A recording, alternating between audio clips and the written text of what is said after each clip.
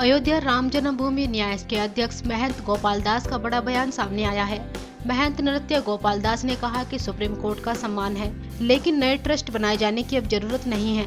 महंत नृत्य गोपाल दास की मांग है कि श्री राम जन्मभूमि न्यास में ही संख्या बढ़ाकर नए ट्रस्ट के रूप में दिया जाए। बता दें कि न्यास की अध्यक्ष में ही राम मंदिर निर्माण के लिए पत्थर तराशने का कार्य हो रहा है।